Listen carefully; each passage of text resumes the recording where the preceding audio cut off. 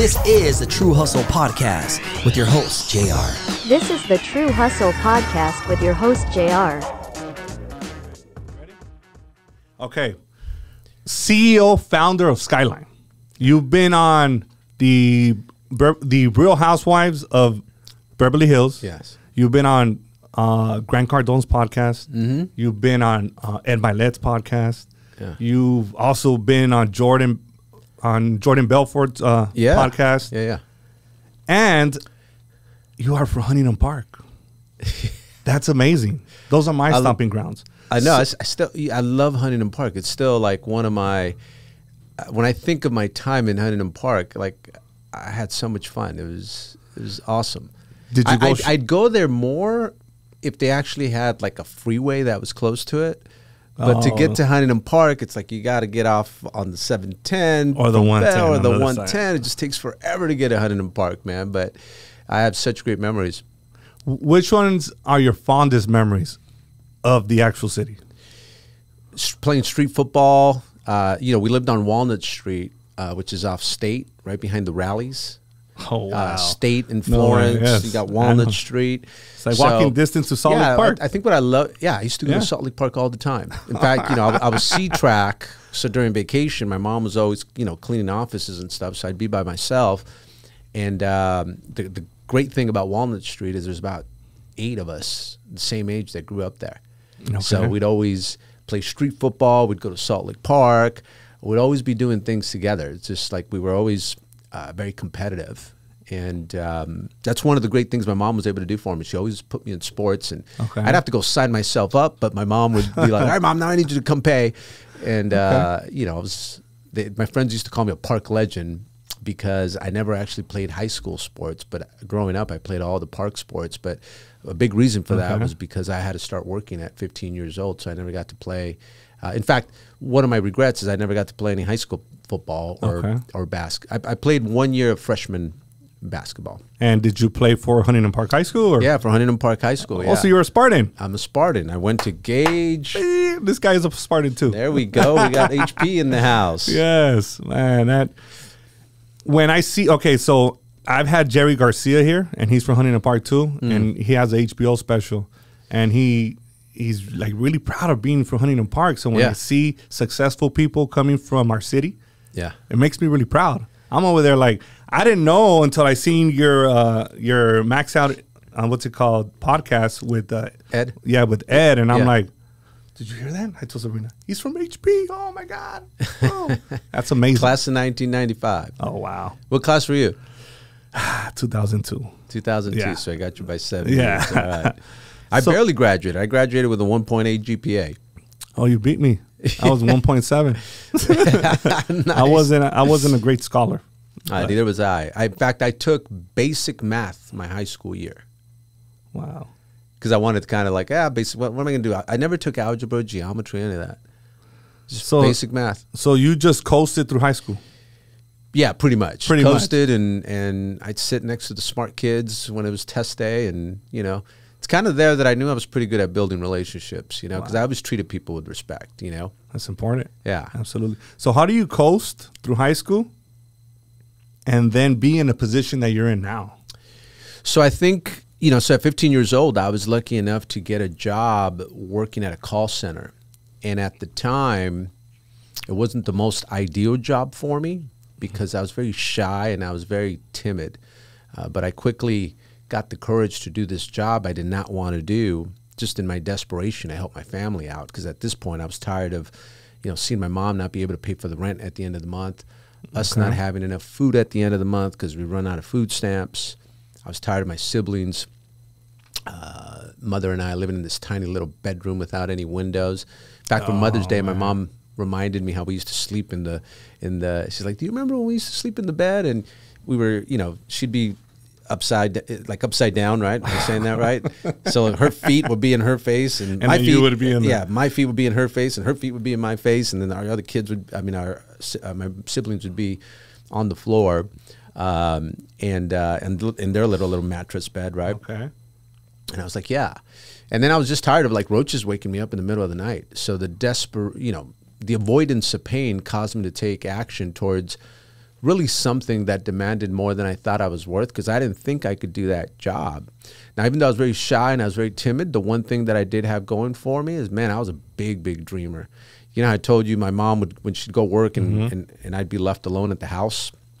In addition to going to Salt Lake Park and just visualize me hitting game-winning shots all day, all day long, I would I would I, I, I would think about making a hundred grand a year, and I became obsessed with making that by the age of 21. I just said, and I would say, I mean, it's the story of my life. I don't know how I'm going to do it, but I'm going to figure it out. And I, I remember saying that to myself at 12 years old.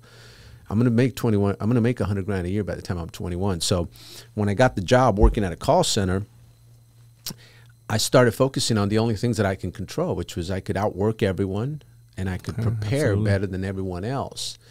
And all these things on the left side that made it impossible for me to become the manager at eight, by the age of 18, I just left that stuff up to, you know, God, I've always gotten my confidence from mm-hmm. God and knowing that God's with me. And I just thought, like, yeah, I know people are twice my age. I know people communicate better than me. I know people are going to college. I know people have seniority over me, but I can't think of that. I'm just going to work my butt off. And by somehow, I know by 18 years old, I'd become the manager. And again, I've, I've gotten to where I've gotten just uh-huh. common sense and drive. If I wanted to make a hundred grand by the time I was 21, mm-hmm. then that meant I had to be at least become the manager by 18. Because at 18, I'd be making 60 grand, is what I thought. I just worked my butt off, and then sure enough, at 18 years old, I became the youngest manager in company history. But not because I was the most talented or because I was the most deserving, but the six people in front of me that were way more talented, way more deserving, all got fired for doing some things they shouldn't have been doing at a party, a company party, and I got my shot at 18 years old. So that was a that was a big moment in my life because it was the first time that I truly began to believe in myself. And you know, other than hope, which is I think the number one thing you need for success, because hope is like the desire to want to do something great with mm. your life. I always wanted to do something great with my life. I think you need faith and the, the positive mental attitude that you need. I think 90% of winning is, is positive mental attitude. Again, for me, I'm a follower of Christ. So just knowing that God was with me gave me a little more confidence. And then believing in yourself because you can only receive what your mind can accept. If your mind can't accept something, it's never going to get it. So the idea is to, to, to build that identity. And, and as I look back, what I did is I put myself in this situation that demanded more than I thought I was worth. And then when I succeeded at it, I began to believe that, wait a minute, maybe I am worth a hundred grand a year because I don't see no other 18 year old making a thousand bucks a week, managing people twice my age, especially from Huntington Park, right? So uh, that was a big moment. And I, I started to really believe it. And I always say to people that you don't believe something in your heart until you actually experience it. The only way you experience it is if you actually give yourself a shot and step into the uncertainty of something that demands more than you think you're worth. But if you really think about it, if something demands more than you think you're worth, you're probably not going to want to do it. It's probably going to scare you. And that's why a lot of people don't step into the arena of uncertainty because they let that fear paralyze them. Mm-hmm. So they never give themselves a shot. And I, as I look back at my life, I just have always given myself a shot. And when I've given myself that shot, I've figured out how to do it. Even though I might have fallen a bunch of times, but mm-hmm. eventually I figure it out. And now that's how my identity picks up and starts to believe, like, whoa, may, maybe, maybe you do deserve more, right? But if you don't step into that arena of uncertainty, you'll never take the shot, which means you'll never believe it. Wow. I'm trying to process what you just said. And you were thinking, you had this mindset at 16. Yeah. That's just mind blowing. Well, I think a lot of it was I, I- I promised my dad at 10 years old that when he got out of jail, he'd never have to work a day in his life. And, you know, my dad, before he left to jail, before they took him into jail, he asked me, son, I need you to, he didn't ask me, he told me, you need to become the man of the house. Like, I'm looking for you to take care of the family. Mm-hmm. And at that time, it was just my siblings and my mom and I. And I took that very serious. And then there was a, you know, the, he left us some money Mm-hmm. and we were okay for like two years, but then we lost everything, and that's how we ended up in Huntington Park, because we had nowhere to go but Huntington Park. And first we found this three bedroom apartment. Life was kind of good, and then we sort of ran out of money, and then we had to rent out the two bedrooms in the three bedroom apartment, which is how we ended up in that tiny little bedroom without any windows. But seeing my mom struggle during those times and just walking in on her and seeing her cry and all the chaos that was happening in our lives, I promised her that one day I was going to buy her a house in Downey. So I knew, again, common sense. I thought to myself, you know, is 60 grand going to make that happen? And the answer was no. Like the mm-hmm. only way that those dreams would happen was if I found an opportunity that paid me at least 100 grand or more. See, I think to you don't have to be that smart to be to make six figures and seven figures, like eight figures a year. I, I'm an example of that. You don't have to be that smart. You do have to have common sense, and you have to have drive. So if you want to make six figures, seven figures a year, eight figures a year, you just have to find an opportunity that allows you to make that kind of money. And the second thing you need, which is the hardest, is you need to find someone who's done it before who has a vested interest in your success that's going to help you do it. And if you can find that person, mm-hmm. which is not easy to do, but if you can find that person, the only reason you wouldn't make that kind of money is if you don't work hard, you know, because that's the one thing you can't teach, right? So for me, I I needed, you know, and, and in addition to that, to those promises I had made my parents, I was almost I was also a huge dreamer. You know, I I would ditch school my senior year quite a bit. It's probably why I ended up with that 1.8 GPA. But I'd go to Rodeo Drive and I'd go to Beverly Hills, and I remember just saying to myself, "Man, people dress different here. People look different here. Like the homes are amazing here." And I'd go eat at some of these restaurants. I was like, "Holy crap!" Like, And you were how old? 18, 17 years old. You know, I'd take my beat up Nissan Sentra to Beverly Hills and go window shopping. And uh, funny story, actually, I don't think I've said this in a podcast before. How I ended up how I ended up going to Rodeo Drive was because I, uh, you know, Ricky Martin was a big hit back then. You know, all the girls were loving Ricky Martin, and I forgot the album, the Vuelve or something like that. And was in La Vida Loca? No, it was before that. It was, it, was, it was the Spanish album that came out in '95, La Bomba. If you Okay, remember that okay. song, La Bomba. And I remember, you know, all the girls were going crazy for him. I think I picked up a magazine, and I was like, he shops at Emporio Armani. So I looked Hmm. up Emporio Armani. I'm like, oh, that's out in Beverly Hills. Let me go check it out. So I literally probably had like a pretty woman moment. I show up with my size 42 jeans. You know, I don't even remember those days, but everyone would use You those were wearing the solos or the 501s? Yeah, the 501 baggy? jeans, really baggy Oh, 42 with the belt. Okay. And uh, yeah, you are from Huntington Park, yes. muscle We're shirt. Right here. yeah, I had the wife beater on, and I show up to Emporio Armani, and luckily for me, the, the the salesperson was Mexican, and he like took me under his wing, and we became best friends. Not best friends, but we became really good friends. Okay. And he started giving me fifty percent discount.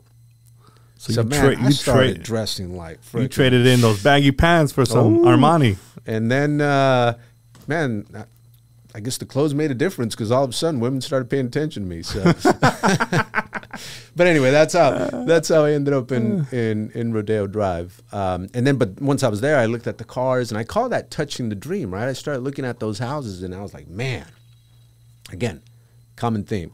I don't know how I'm going to do this, but I'm going to figure it out. This is where I'm going to end up. I'm going to live on the edge of the hill, and I'm going to overlook the entire city. And again, I started. So I started finding what happens when you touch the dream. First of all, it took me out of the bubble of Huntington Park in South Gate. It made me realize, like, wait a minute, there's a whole different world outside of Huntington Park in South Gate. And it made me realize, like, I still got a lot of growing to do, right? And what that did is now it got my subconscious mind to go out and find opportunities to make those dreams happen Okay. right? So uh, that was the importance of me going out there and, and, and touching the dream, and that's that's why in my business today, I go out of my way so the guys can touch the dream and see it for themselves because you can't change something you're not aware of, right? Like if you've never sat in the owner's box at SoFi, like why would you work your butt off to get there, right? So I took like perfect example. I took one of my guys, a big I'm a big Rams fan we do we do amazing incentives at our company, and uh, took him to the owners club uh, at SoFi. It was one of the, just these moments that I'll always remember, which is he's sitting next to me and he looks up. He's like, Edwin, you know that's where I always sit, right? He's like way in the nosebleed. He's like, man, I'll ne- I'm never sitting nosebleed again. This is where I belong. Because now the perspective is different, right? Yeah. Once you sit down there, you never want to go back up yeah, there. Exactly. But if you if you never get to sit in those seats, like you'll never know. So why would you want to work your butt off? If you never go to a nice restaurant, if you've never been to Mastro's, like why, why would you want to work your ass off to to go to Mastro's, right? Again, you could only change something that you're aware of, but if you don't become aware of it, you you won't want to do it, right? Like you won't know the difference. So you know, for me, you know, there's there's no point of creating a beautiful life for yourself if you're not willing to share it with people. So I just I love sharing point. it with people because it just reminds me of me when I was younger and and you know, luckily for me, I was blessed to just go figure it out on my own and go touch it and, and see it and be like, whoa, this is this is what this is what this is what I want to do. This is where I want to end up. So did your dreams? You said you were touching the dream. Mm-hmm. What plan of action did you have to tackle those dreams? Yeah. Because a lot of people dream, Hmm. but then they go sit down. Yeah. So what, like, Yeah. So you have to have like like a plan, blueprint. yeah. So again, back to the common sense stuff, right? You need you need an mm-hmm. opportunity that allows you to make that kind of money, and then you need someone who's got a vested in your success that's going to help you do it, right? So when I became the youngest manager in company history, I became the right hand of the VP of sales. Okay. And he was making about 250 grand a year. So three years later, he comes into my office. He says, "Hey, Edwin, I'm going to start this home security company." He says, "I can't guarantee you the 70,000 that you make here, but if you make this work, you could possibly double, triple, quadruple what you make here." And the first thing I thought was, well, he's leaving it. He makes 250 grand. He's leaving the job because he thinks he can make millions in another industry. I'm like, well, hmm. that sounds pretty reasonable. Second thing I thought was, if he's willing to mentor me how to start a company from the ground up, I'm like, this is the the mentorship I've been looking for my entire life. And then the third thing was, I knew I had these big dreams, and I, again, I used common sense. I said, is seventy thousand dollars a year going to make those dreams happen? No. Then I looked at the worst case scenario because one of the ways that you eliminate fear is you look at the worst case scenario, and if you're okay with the outcome, then you'll be fine. And I looked at the worst case scenario. I said, you know, now we were sort of moving up. Mm-hmm. Hopefully, my people from HP don't kill me for saying this, but I went from We're gonna give you a pass. I, I, I went from I went from HP to South Gate. So, you know, South Gate I was did a- the same. So don't worry. okay, you did the same, all right? So we went to South Gate. Uh, I, I guess you go from HP to South Gate to Downey, So Downey. right? Yeah. Is the the uh, the final destination. Oh, that was my mom's dream. She's like, "Mijo, quiero mi casa en Downey. Vamos a estar en Downey." Well, again, progress, right? So we went from HP to South Gate, and at the time, I was making again seventy grand a year, and I thought of the worst case scenario. Worst case scenario is I fail miserably, mm-hmm. and I thought to myself, if we fail miserably, maybe I end up in Watts in the projects. Not that much different than that little tiny apartment that we lived in. But if we make this work, I can make my dreams happen. And that that's really what it came down to. And, and, and then I just I took the plunge. You know, I think the purpose of a goal is not necessarily to accomplish it, mm-hmm. but the, but it's to become the person that attempts it. And again, many people get stuck being average because they don't even give themselves a shot. And there was no way in hell that I was going to be 70 years old one day, look back at my life and say, man, I took it, I, I, I took it, I, uh, I- uh, I wasn't willing to take any risk. Like at some point, you got to take a shot, you know? And, you know, I think if you're always pay, playing it safe, at least to me, like you squeeze God out of the formula. If you only go where you know mm-hmm. and you only do the things that you know you're going to succeed at, then there is no need for God. But like for me, that's why I've always embraced uncertainty because it's in uncertainty where my need for God gets heightened. It's where I know I'm going to grow and it's where He's always met me. Yeah, I think for people it's easier, Mm-hmm. safer. Safer. People want to be in the safe in the safe zone. Yeah. and they don't want to take that that leap because Yeah, they don't they don't know, Mhm. and sometimes they rather feel safe Yeah. than take risk. And, and but that's why you know I think again if, I think if people are scared, just look at the worst case scenario. Like again, I, I was making seventy grand a year. I was still only a mile away from Watts. Like I, it wasn't like at some point I had to give myself a real shot. And and the the other thing that I did again, common sense, is I thought to myself, is seventy thousand dollars a year going to be available again? The answer was yes. But is the opportunity to be mentored by the only successful guy I knew at the time with an opportunity to make a million dollars, how often is that opportunity going to come? Right? So that's why like jobs that pay you 15, 20, 30, 40, 50, those jobs are always going to be available. Mm-hmm. Right? Yeah, right. So why not give yourself a shot? If like worst worst comes to worst, you'll find that twenty dollar an hour job again. But an opportunity where you can make six figures, seven figures, eight figures, you know, those opportunities don't come around that that often. So when they do, you better take a shot at it. I agree. I always bet it. I always bet on myself, Yeah. and I always. I look at. It's funny that you brought that up because I look at worst case scenario for everything that I do. Mm-hmm. like I do real estate, so I invest in real estate. Mm-hmm. So I was like, okay, what's my worst case scenario on this one? Yeah. Okay, if this happens, nah, I'm okay. Yeah. So I'm like, okay, The fear I goes away. Yeah, it's, it's just it is what it is. Yeah. Wow, Calculated risk. exactly. What are some of the hardships that you went through, like through during that process? Because you did leave Yeah. Your seventy thousand dollar. Back then, that was Yeah. a lot of money. Yeah, it was a lot of money. That was back in 1999. So of course you bet it all on yourself. so what were some of the hardships that that uh, uh, that were a bit difficult, but you were able to overcome? Yeah, great question. Immediately, I I had done so well at the call center that I was at that I came in a little arrogant to the home security space. And what I mean by arrogant was that I didn't take the time to learn my material. Like I, I looked at the script that Okay. they gave me. I looked at the rebuttals. I said, "Oh, this is easy." So I didn't even practice it. I just looked at it once, and I thought I could just go out there and wing it. And we went door to door. So ignorance gives you fear. And Yes, what I you, agree. what you transfer to the client, you know, sales is just a transfer of belief, right? You know, people don't have to necessarily believe what you're saying. They have to believe you believe what you're saying. Mm-hmm. And I remember there was this doubt when I'd go knock on doors because I didn't know my stuff. Every door I sounded different. Every door I was saying something different and I was trying to wing it. So everybody would tell me no, no, no. I went 10 days without able to without being able to sell. And then the only reason I stayed doing what I was doing was because my brother-in-law at the time was doing two sales a day. So he's mm-hmm. making like a grand a day and I was like, "Wait a minute. If he can do it, I should be able to do it because I'm just as good as him, right? And I said, what am I doing different that he's not? And what I was doing different was that when I first started, I didn't resign from the call center that I worked for. I was able to convince the seniors to change my schedule around. So instead of working from 3 to 11, I started working from 7 a.m. to 3 p.m. And then I'd get out of work, and then at 4 to 10, I'd go knock on doors.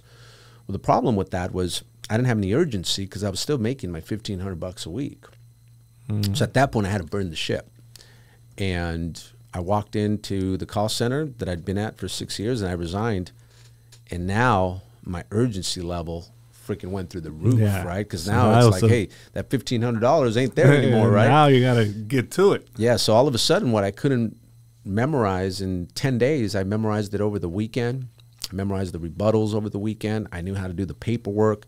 I mean, I studied my butt off. I easily put, I don't know, 20 hours in just straight training, saying the pitch in the restroom, saying the pitch mm-hmm. while I was driving, you know, just saying it, saying it, saying it, saying it. Well, Monday I came back with so much confidence. Now, knowledge when applied gives you confidence. So that day I, I got five sales in one day. I couldn't sleep that night because then I really started dreaming. I was like, man, imagine I just made 1500 2500 bucks today. Imagine 29 more days I could make 2500 bucks Imagine every the day. possibilities. Man, I started dreaming and then from then on I was just like the next day I kept looking at my watch. Is it is it, is it 3 p.m. yet? Is it 3 p.m.? and boom, and then I ended up with 12 sales that day, uh, 12 installs that week. So I made about five grand. And funny story, which I don't think I've shared this either. So I make 12 grand. I mean, I make five, six grand that week. And again, my ignorance at the time, I'm like, I'm going to go to an open house.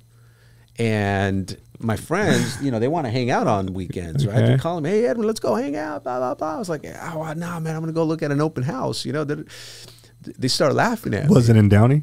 It was in Downey. well, I promised my mom I was going to get her that house, right? I knew it.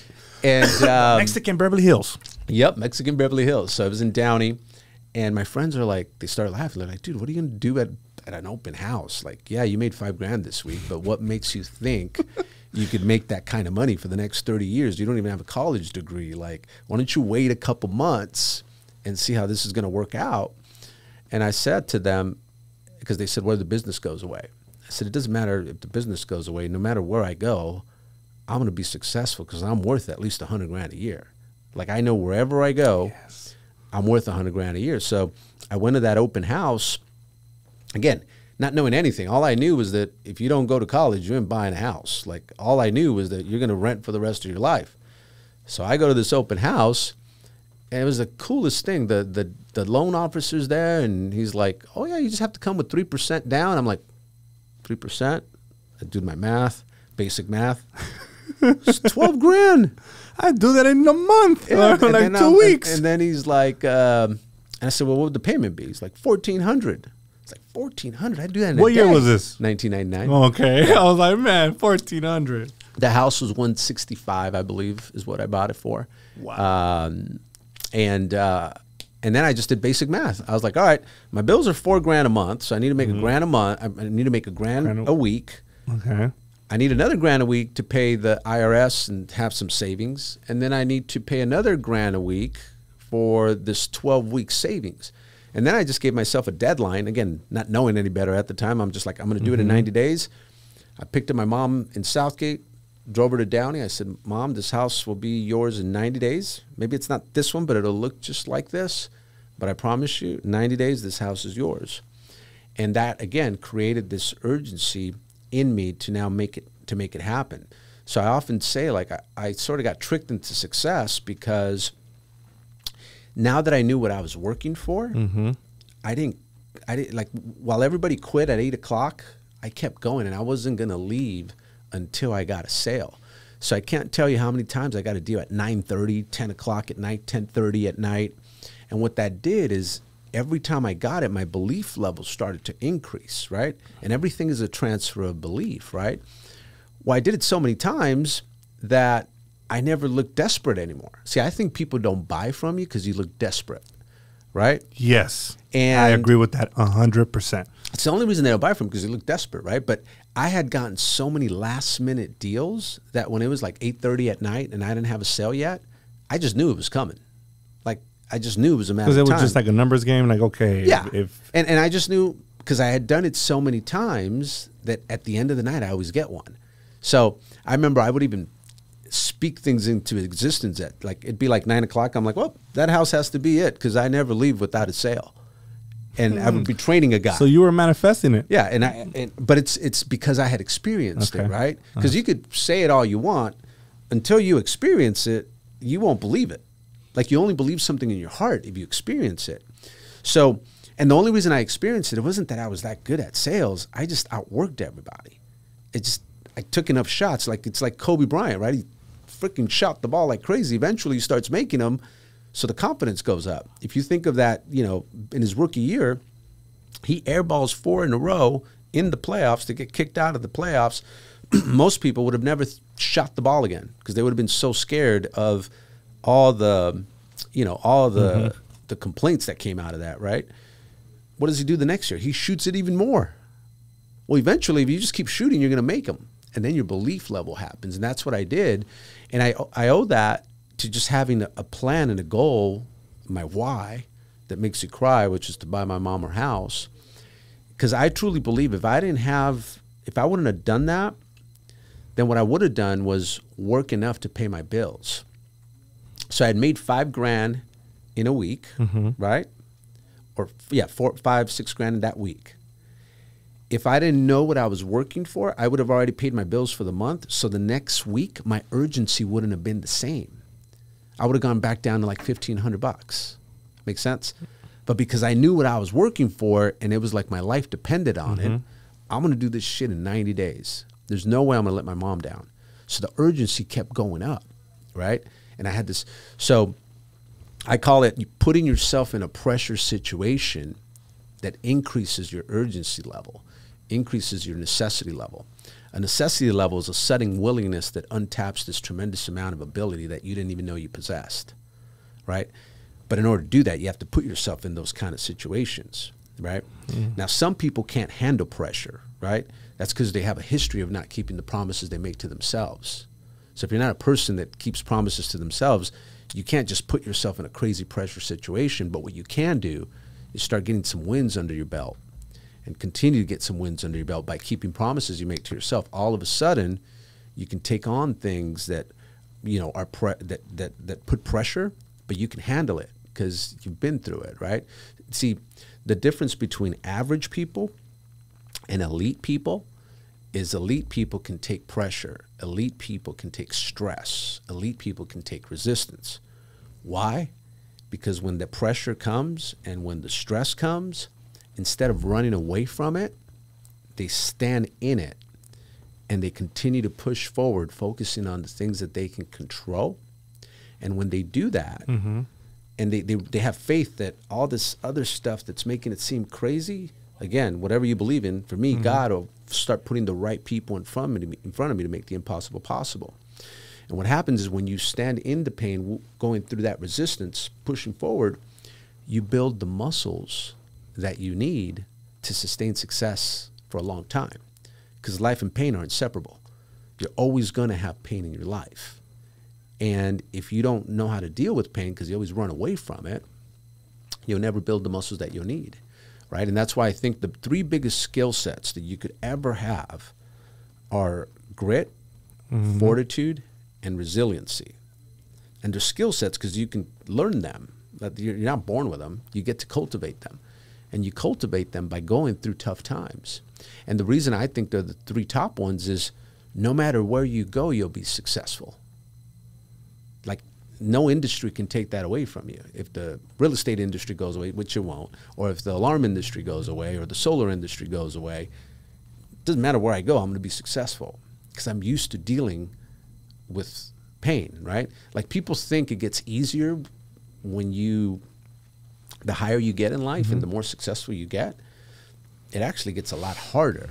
You just become better and it looks easier, right? Because you've gotten better.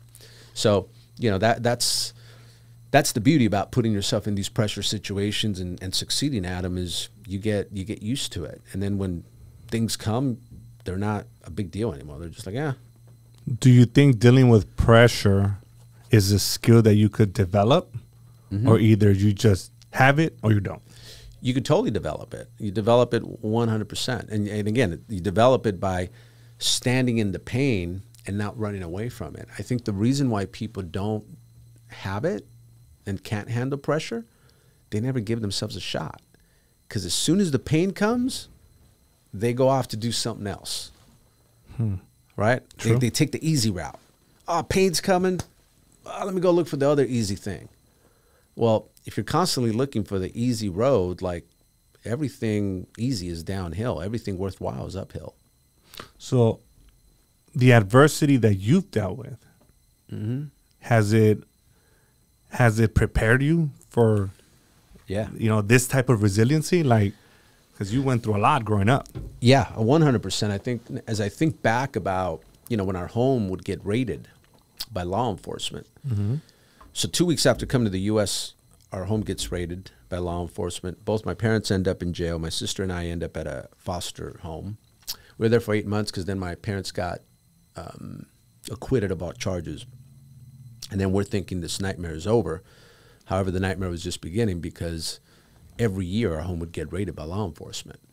And it went on for four years until they finally caught my dad and they, they, they put him away for a while.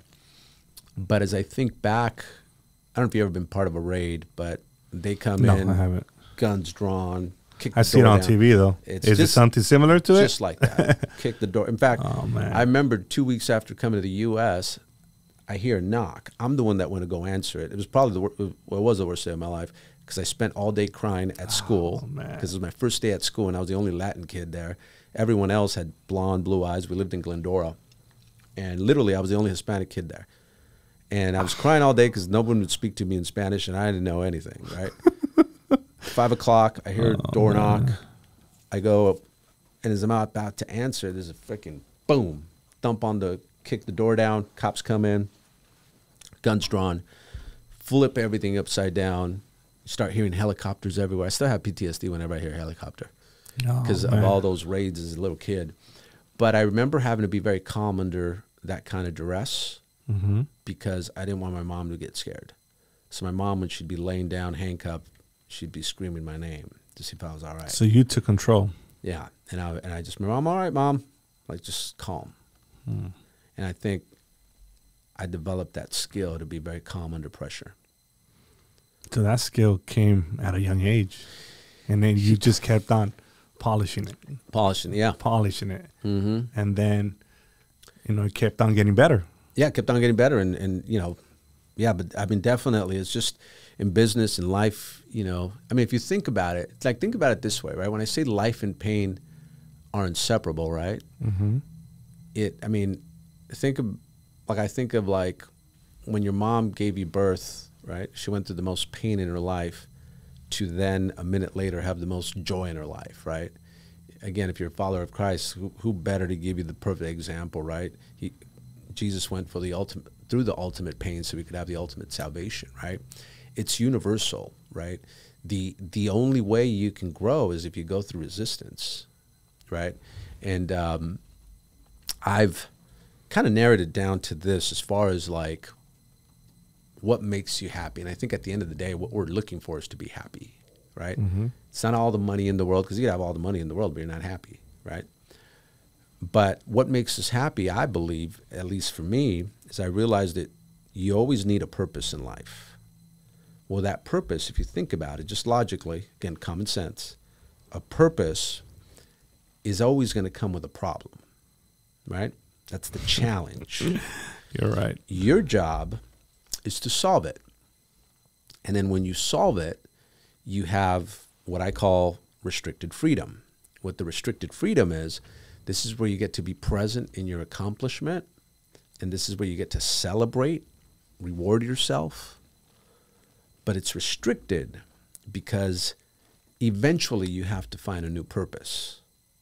Because if you don't find a new purpose, then you have total freedom, which is this fallacy that people say you want total freedom. You don't want total freedom because if you had total freedom, you wouldn't have purpose. And if you wouldn't have purpose, you wouldn't have problems. And then you'd be hmm. bored. man. And then you'd be bored at the game of life, right? Like just think about it, like in sports, right? If we were to play basketball one on one and I beat you or you beat me 15 0, like it'll be fun for the first couple games, but are you going to want to play me after that? It's boring. You're like, I'm not being challenged. See, in life, you always want to be challenged. I mean, even in relationships, if you think back of, you know, ex girlfriends or, mm-hmm. You know, why you ended up marrying your wife or, you know, it's probably because they challenged you. You weren't able just to step all over them, right? At some point, like we want to get challenged. So purpose, problems, they're- They go hand in hand? They go hand in hand. It's like it's like yin and yang, right? So- and here's the thing: if you don't have purpose, and so you need to have all three at the same, right? Purpose, challenges, or barriers, whatever you want to call them, or restricted and restricted freedom, right? You want to have all three. But again, just think of this logically. Say you had no purpose, right? Mm-hmm. Then what happens is you'll go create your own problems. Every stupid decision I've ever made is because I had too much time in my hands. I was bored out of my ass. Oh shit! This and then I got into some stupid shit that got me in trouble. Right? You have too But much time. Yeah, I didn't You're have not purpose. your mind isn't preoccupied right. with producing. Yeah. Like I, I, I won't get into the details of how I got, I've made those stupid decisions, but I was having a shitload of success, and I'm like, eh, it's time to like relax a little, and too much time to think. I got into some made some Too much stupid partying? decisions. Yeah, Yeah. like stupid decisions, but it's because I had I had no purpose, you know. But if you have the purpose, that purpose always comes with that problem or challenge, right? And then again, your job is just to solve it. And again, when you think about it, right, we were put on earth to create. And whenever we don't create and we stop Mm-hmm. creating, right, then that's when we go stir crazy. That's when we start developing anxiety. I believe that's when you start getting depressed, right? And that's that's why you see, I think, sometimes people that have all the money in the world, yet they're still miserable because they stopped growing. They, they don't have a purpose anymore. That is is so true. Now they're just sitting on their money without purpose. So eventually they become miserable. You know, they go find their own problems, start picking up the alcohol, they you start, start picking just up strippers, they start you start up all- generating your own Yeah. freaking problems. You, you're creating Mm-hmm. something that could have been prevented. Yeah. It's Because- just it's like imagine a shepherd dog, right? Like if you don't give that dog a purpose, like I used to have an Australian purpose, I've been an Australian shepherd. Uh-huh. If I didn't take that guy running with me all the time, he'd destroy my backyard. You don't give those dog a, you don't give those sh- those guys a purpose, Oh my god! they'll destroy your stuff. It's no different than what we would do if we don't have a purpose. We'll just destroy everything. That's a great point, and I'm gonna probably watch this episode twice and start taking down some notes Yeah. too. Now that part I- is in all areas of your life, right? Because you could have purpose in business, right? And and that and, and and and that's growing, but then you don't have purpose in your fitness, so that starts to die, right? So you literally start living like Dr. Jekyll, Mr. Hyde. You're great at business, but you suck at your family, or you're great at business, but you It's suck super in your fitness. lopsided. Yeah. So the idea is that in all areas of your life, faith, family, fitness, finance, you should have, you should apply that purpose, problems, and restricted freedom. Do you Right. believe in I balance? Mm-hmm. think about fitness, right? Restricted freedom. I have my restricted freedom on Sunday. I eat whatever the hell I want, blah blah blah. But if so I you had, have your cheat day. but if I had my total freedom and all I, I love ice cream. Man, I could eat ice cream and cheesecake all day. I could eat my, I could eat an entire pizza by myself. And, but if I did that every day, I gotta have restricted, right? It's like, all right, I did it. Now it's back to, and again, I want to stay sharp there in my mm-hmm. fitness because that makes me better at, gives me more energy for work. Absolutely. Gives me better, I can handle stress more because my body's ready for it. So, do you believe in having balance So great all question. across of, uh, uh, personal business? Like, how do you balance things out, quote unquote? I don't know if you believe in balance or not. Yeah, so great question. I don't I don't believe in balance. I think neither. I think that if you want to be great at something, it's going to take most of your time. But I think Okay. the, the the good news with it is that during your lifetime, different areas of your life will spike. So the key is to identify what areas of your life aren't spiking and then just make incremental increases, improvements in those areas, right? It's not about perfection, it's about progression, right? So if you could just identify what area of your life is not spiking, then as long as you're making little improvements, you're growing, right? Because what you don't want to do is focus on an area of your life and then you don't improve the other areas because if you do, you let those areas die. So I'm sure we've all heard you're either growing Or you're done. or you're dying. So the key is identify what areas of your life aren't spiking and just make little incremental improvements on those. Baby and steps. baby you don't want to start making some drastic changes because then burnout comes out. I mean, Right. And then you burn out or you don't mm-hmm. fulfill that. I mean, what you had Yeah. intended to, and then you fall back to the old patterns. Yeah. And and then what will happen too is the reason I say during your lifetime, different areas will spike. So there'll be a come. I think that part is in Ecclesiastes too, right? Where where in, in the Bible, I mean, every great information is in the Bible. I think like the most principle, the the best principles of success. If people would just open up the Bible, they're right there. But there's a time for everything. There's going to be a time for you to go to work and bust, your butt off. I mean, one of the reasons I worked my ass off at a very young age, even though I was making a ton of money at a very young age, I, one of the reasons I didn't get comfortable was I knew that eventually I was going to have kids, and eventually I wanted to have the opportunity where if I didn't want to go to work, I didn't have to. Like hmm. I don't have to miss any baseball, you know, basketball, Little league, little nothing. league. Like if my kid needs me there, I'm gonna be there, right? Nice. And I knew that. So even though I didn't have kids at the time, I was like, this is my time to pay the price. So when they are eight, nine, ten, they'll remember that I was always there. That's beautiful. Because you created that. You made that. You made that Mm-hmm. possible. That's awesome. so that was kind of you know and, and again that was spike right and then your family is born so then that might, might spike more right and then maybe your business you're not as on it on as your business as you probably were in your 20s or 30s but you're just making sure that you make incremental improvements on that you know there, there's going to be a time in your fitness right that you know but you can't again if you want to be just jacked beyond jacked like that's going to take most of your day so then where's business going to come Can't be all buff and not have everything else right? on point. so, you know, so that's the way I look at balance. what kind of mindset do you have to have to possess those skills or to be able to, to make those adjustments or to be able to say, you know what? I identify this is what's wrong. So these are the type of adjustments that I'm going to make. Like what mindset or what thought process do you have to have? I think your dream has to be bigger than any excuse you can make on why it can't. I think if your dream isn't big enough, then what's going to happen is your the excuses will eat you up. And if you're again, your dream has the way I look at it is your dream has to be big enough to fight off your mind when it tells you it can't go on, right? To fight off when it tells you I can't do it anymore, right? Um, has to fight off your bo- your body when it's like telling you I'm tired. Stop, I'm tired. Right? If your dream is big enough, your body and mind won't matter because at that point your spirit will take over. And your spirit will get your hmm. mind and body to go on. Right? So but I think people just unfortunately don't dream big enough. If that dream isn't big enough, why would you want to go work your butt off? Like at some point you'll sell out. And again, the beautiful thing about your dreams is they change at different times. You know, my dream today isn't the same dream I was at 21 years old. Like now I work as hard as I work so I can provide people the same opportunity that I had. You know, I look at myself like I'm just a byproduct of one person giving me a shot.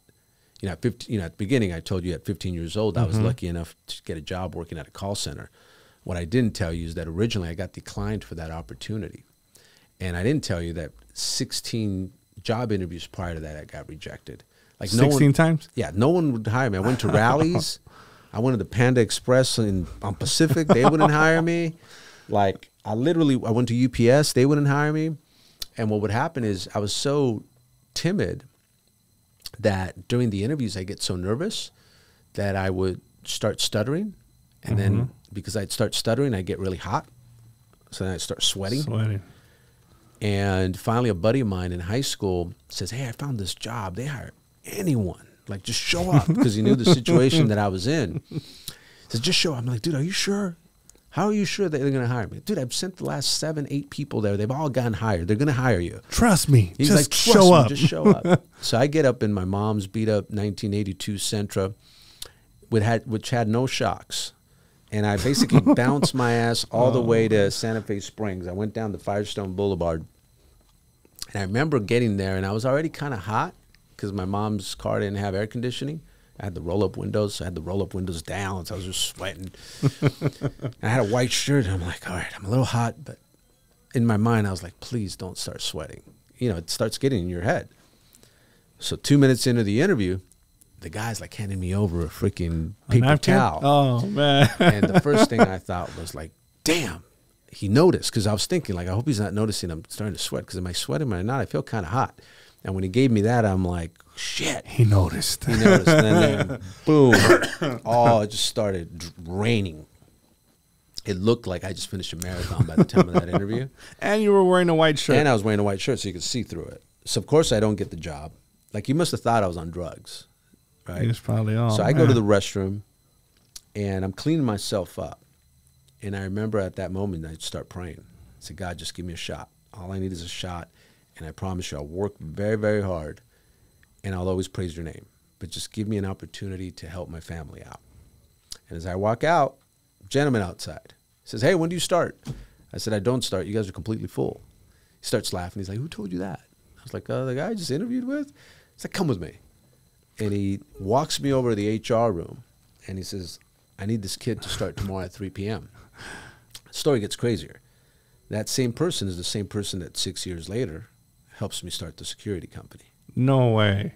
And here we are, 24 years later. Company's made over 500 million. Um, we're on pace to doing in the next two years what's taken us 24 years. And one person gave me a shot. And that's why I'm a firm believer that in life, people just need a shot. People need a system. People need a, a leader that believes in them, that's going to be patient Absolutely. with them, that's going to show them how to do it. And that's my biggest driver today. Like the money doesn't drive me anymore. Like after a while, It's just a byproduct, right? of- yeah, after a while, like at first the money did drive me. Don't I'm not gonna get it wrong, right? But after a while, you, all right, you got it. What's next? Now, like that kind of stuff. Like that's my why, and that's what keeps me freaking working. And because again, I love when Ed Mylett says your dreams got to be big, so big that everybody's dream can fit inside of it. oh man, one of the great things that I do now is I'm reliving my life through the people that work with me. You know, one of my guys just bought himself a $2.5 million house uh, last week. And it just it reminded me when I first bought my $2 million house. And I was like, whoa. And now he's doing it, right? You know, So one of puts a smile on your face. Oh hell yeah, yeah. Um, Is- just seeing them do like go through those steps, right? Uh, and I want to give people the same opportunity I had. Like I want them to make the kind of money I make, right? Like as as long as you're doing the way I've set up the company is I'm building entrepreneurs within the company, and you know in order to do that though, we're big on leadership development right? Because, like I said earlier, you're only, you're never going to out earn your self worth. You could have the platform where people can make six, seven, eight figures a year, Mm-hmm. But if their mind can't accept it, they're never going to get it. So, our job is to build their identities to make them believe they can do it. One of the greatest things you could do as leaders, make people believe they can do something. Because if you do, they'll manifest it.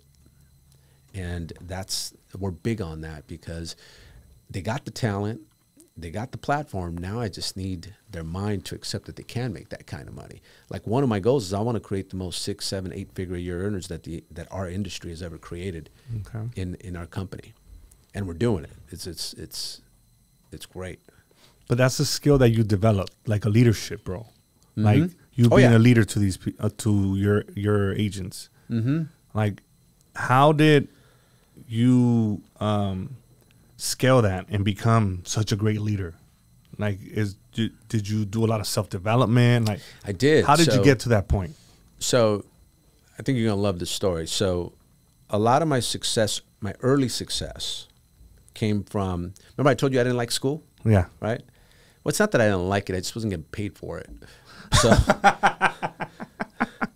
but that's a good one. but the great thing that I'm I use that one from now on. but the great thing about the call center where I worked is that they would make you before we got on the phones, they would make us work for an hour a day on our mindset. And we used to do communication drills, we used to have tonality drills, we used to role play all the time. And literally for an hour a day, 5 days a week, training, right? And I did that for 6 years. And like a How old were you? From uh, 15 to 21 years old.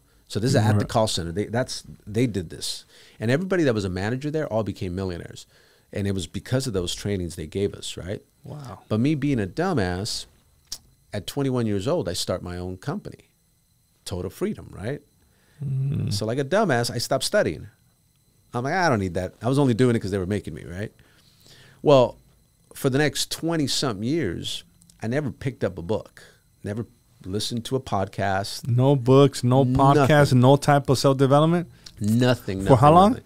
20 some years, 20 Oh, years. man. and, and so this is where the story gets good, right? So 2016 comes around, so 17 years later, and I'm making more money than I've ever. The company's, I shouldn't say I'm making, the company's making more money than it ever has, right? Mm-hmm. So the gross revenue is going through the roof, right? And the self, it was the first time that I surpassed my self worth. 2012, 2013, I started to make more money, and the inner voice started talking to me. The inner voice was like, You're not smart enough. People are going to find out that you've just been getting lucky this entire time. You're hiring people that are way smarter than you, and they're just going to find out that you've been lucky. And maybe you have been lucky this whole time. And that the more money I we started to make, the company made, the more money I made, that voice got louder and louder. And I knew what the problem was. The problem was I hadn't studied on my mind, and I knew it. I kept procrastinating. S- See, we all know what the problem is that's keeping us from growing. And I, ah, I'm- I'll go next. I'll go next. Like I'll go. I'll go next month and next month. And finally, it took one of my sales guys to drag me to a 10x conference from Grant Cardone, right? Hmm, man. And he drags me there, and I sit in it, and I'm like, and I'm like, How old were you there? well, this is 2016, so I want to say I'm 38, 39. And that was the first Grant Cardone Oh, yeah. conference you've ever been. Yeah. Any conference. Any conference. I haven't done anything. Oh wow. and okay. uh, so then I'm like, okay, so I get out of there, and I'm like, so the self-limiting belief was that I, I wasn't very smart because the school system made me believe that I wasn't very smart because I graduated with that 1.8 GPA, and I never passed tests, so I just kind of thought I was dumb. Like that was my thought. I'm like, oh, I'm just not that smart, and but I knew what the problem was. So once that conference was over, I picked up the book 10x, and at first I couldn't read it because I couldn't retain the info. Like I read it, but I keep reading the same page. I couldn't freaking retain it. So I got the audio, hmm. couldn't retain that either. So finally, I just started playing the audio, hitting stop, and writing it down. That's the way I read the whole entire book. seventy-five percent of the book Oh wow. and okay. that's that's how I was able to retain the information. But what's crazy about that is now I was like, wait a minute, everything that's in this book, I already did. I just didn't know how to articulate it, and my mind began to accept. Well, maybe you are this smart because Grant's worth hundreds of millions of dollars. Mm-hmm. And you're doing the same thing that he's done all your life. You just didn't know how to articulate it, right? And then my mind began to accept it, right? And what happens is whenever you can get your subconscious mind to accept to what you're saying consciously, you'll start attracting all the right people to make those dreams happen, right? So in 2015, I had gone in front of the whole company. We had a big holiday party, and I'm like, "We're going to be this hundred million dollar company," and I declared it, and that's how it should start. That you declare it, right? Problem is, I didn't believe it, right? Mm-hmm. And but now, and I remember I told you you don't you don't believe something in your heart until you experience it. So by reading that book and knowing that I had done the same things that Grant Cardone had done, like literally, I just didn't know how to articulate it. My heart started to believe, like, I am worth a hundred million dollars. I am pretty smart. I I've done everything smart. that's on that book before that book was written. Exactly. So what happens? amazing. So what happens in 2017 after that? My wife books the show Real Housewives of Beverly Hills. Right. That opens up the floodgates to me to be to for me to show kind of the the glamorous life I had. I was gonna ask you that. because I was never a guy that was like, "Hey, check out my houses, check out my cars." Like I, I just always got embarrassed. Like I've always liked nice things, but I promise you, like when I first had my first convertible at 21 years old, when we'd get out of the clubs, I'd have Mm-hmm. my friend drive it because I was embarrassed of too much attention. But I just loved having it. Right? No way. Yeah. And um, so I was never a guy that liked to show my stuff. Right. Now the show com- came out and it did that for me. So now, like all these sales guys were like, "Wait a minute, your business allowed you to get on that show? Like, how the hell did you get on it?" And then Grant calls me, and that's how I was able to get on his podcast because I was able to go on his. Oh, because of the show. yeah. So you think that show opened doors? Oh, for sure, big time. They, they people started taking me more serious. Like all of a sudden, you know, being on TV makes you look bigger than what you are, right? Wow. So all of a sudden, Grant calls me. You know, it's what called the 40 mil, $40 million Hollywood Hills guy, Yeah. or whatever he called it, right? and um, in fact, one of my top guys this year DM me from me coming out on that Grant interview, and he was just like, "Hey, I, I, I just want to be around you. I hit rock bottom. You know, I'm living with my parents. Guess how much that guy's making five years later? A couple million. He's gonna make six this year. Yep. Yeah. So you think there's a lot of power behind social media and exposure and those shows? Like it gives you just a One- different type of level of exposure. One hundred percent. So, so again, so just but back to that story, right? So what happens in 2017? So, Real Real Housewives, my wife books it. Grant Cardone calls me. From there, Ed Mylett calls me. From there, Jordan Belfort calls me. From there, you know, I'm able to go on these shows and I'm able to show that hey, our business allows you to make that kind of money, right? Uh, so that's and we started hiring a higher caliber of of rep. Uh, of agent, if you will, Because the exposure was of the there, so people were reaching out to you. Right. Like, hey, I seen you so, on so, TV. So the beauty of it is that now we were bringing in people that had the mindset. I just had to show them the platform, right? Wow. Whereas before I had to work on the, I had the platform, but I still had to train them on the mindset. Like I still had to change their thinking. So I was hiring kind of like bottom of the barrel people, right? uh-huh. Which there's nothing wrong with. bo- I, I was the bottom of the barrel person, right? I'm the guy that couldn't complete sentences, right? And that would sweat and all that. um, and there's, you know, my top guy right now is one of those bottom of the barrel people, right? He's like me, right? He's the top guy in the whole company. If you if you were to look at him, he'd be the last guy you would pick to be on your team to go. No sell. way. Yeah, because he kind of looks like a thug, right? Like tats everywhere. Oh, got the neck tattoos? Oh, he's got big, big pants, big everything. He doesn't have the biggest team, but he's he sells the most. He's a hustler. He's a hustler and drives a Ferrari. Live, he has a house on the beach in Hawaii. Like he's done very well for himself. Oh, no But if you look at him, and he's been doing it as long as I have, so he's got longevity in the game too. Which, um, but if you look at him, you- you're like, "I- you're picking that guy, right? Um, then I have my other guy that I just told you about that DM me from the Grant Cardone show, and that dude looks like he came out of an Abercrombie and Fitch mag, you know, magazine, right? We got 18 year olds, we got 60 year olds, we we got every everything you can think of. So I just love that. And it's what I love about what we do. It gives everyone a shot. You know, because some industries, if you don't look a certain way, if you're not connected to the right people, if you don't come from the right college, they don't give you that shot. And and I'm able to give everybody a shot no matter what. Like as long as you have the desire to freaking want to do this, um, you can do it. But my point is, you know, whether it's bottom of the barrel or now we're just getting guys that like no would have gone to do medical sales or financial services or would have gone really like I'm getting those type of people, right? They just need and and it just the growth is so much faster because they're already coming with the right. They're hungry. They got the mindset. They've already been studying, um, and that's been the explosive growth that we've had.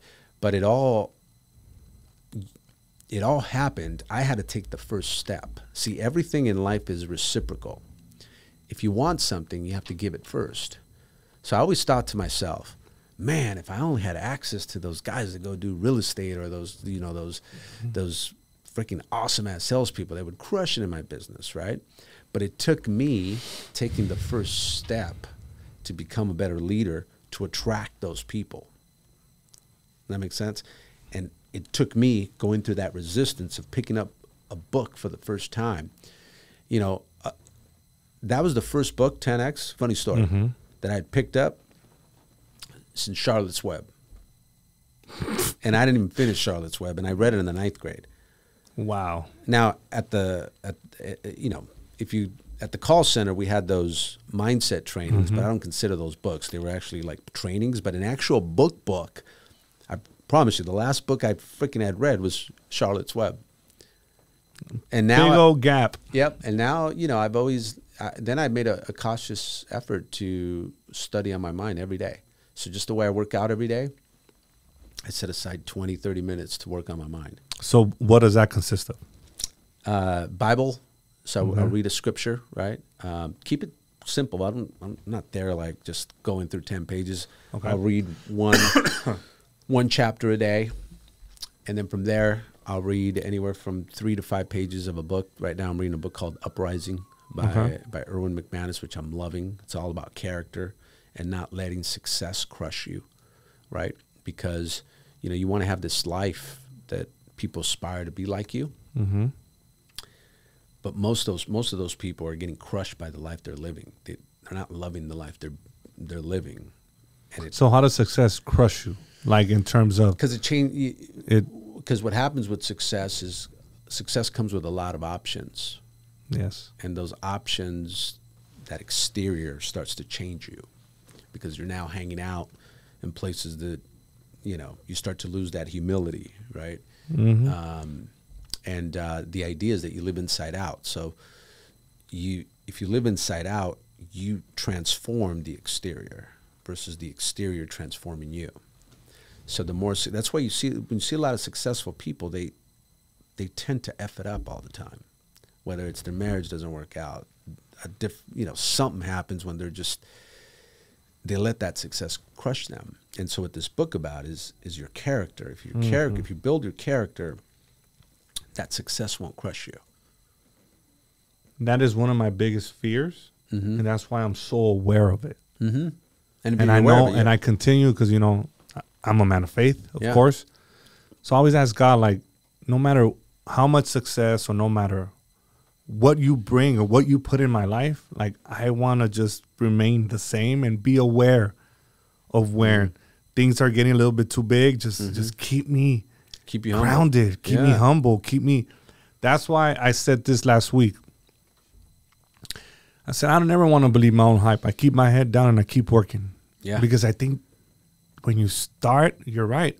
I'm not at your level, so I'm not comparing myself like okay, course but right. you know, so but I do understand that when people are at your level, I think a lot of things start affecting their judgment, Mm-hmm. start affecting their character, and it ends up crushing their families and Mm-hmm. stuff like that. So I know I want to be very aware and very vigilant, Yeah. and I just ask God to keep me grounded and just keep me, you know, It's, just it's the greatest gift you can have, and I think that's when you believe in God. There's humility, right? If you don't believe in God, there's a little bit of arrogance there, and I think if you have humility, then you're always going to be about integrity, because if you have humility, you're going to care about people first, right? And if you care about people first, you're going to have integrity. You're not going to screw people over.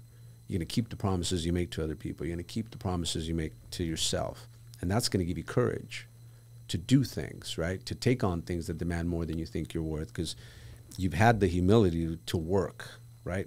Not to think that the problem with arrogance is you get to a point you're so successful you don't want to put in the work anymore. Hmm. So that happens. All of a sudden, you don't work as hard as you used to. Why? Because now you got arrogant. Now you think you could just hmm. coast. And if you coast, you can get your butt kicked by somebody that's going to be continuing, hungry. That's hungry, right? So it's the humility to, to, to know, hey, I don't know everything. I got to continue to work. And the, the thing is, the more successful you become, the more you have to pay attention because one sentence can change your life. But what happens is, hmm. the more successful you become, you're like, oh, I know this, I know this. So you don't listen anymore. But then there could have been one sentence there that could have changed your life forever. So you almost have to be more attentive the more successful you become. And that's why I think humility grounded is, is, is, such a big, big thing. Have you ever dealt with something like that when you start feeling like, oh man, I'm, I mean, I'm doing very well. Um, I've done you it. start- I've done it twice. you start and I got my ass kicked. you yeah, okay. And it, but I don't think it was arrogance. It was more. it was more like, man, you've been going hard for 15 years. Like this is your time that you should probably just You deserve a break. deserve a break. And both times I did that, freaking almost lost everything. Yeah. Oh man. Okay. So now that I'm having the most success I've ever had in my life, I'm freaking stomping on the gas. I'm like, yeah, it ain't happening again. Yeah. How important is motivation, Mm-hmm. and how important is discipline? I think discipline is the, you know, motivation fades out.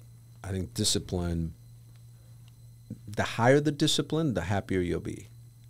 The lesser the discipline, the less happy you'll be. Now, the thing you need to know, understand about discipline is that it's very, very hard. Discipline comes with a lot of resistance. But the beauty of discipline is if you can sustain it for a long time, it becomes a lifestyle. And it's mm. not hard anymore. It's just it's just a way of life. It's life regular. right? It's a everyday thing. now. everyday thing, right? But again, discipline always comes with resistance. Remember, Yeah. I told you pain. Yeah, absolutely. to- I the- agree. The, the, sooner you learn that life and pain are inseparable, the more successful you'll be. So discipline always comes with a little bit of pain. You got to have pain, right? yeah.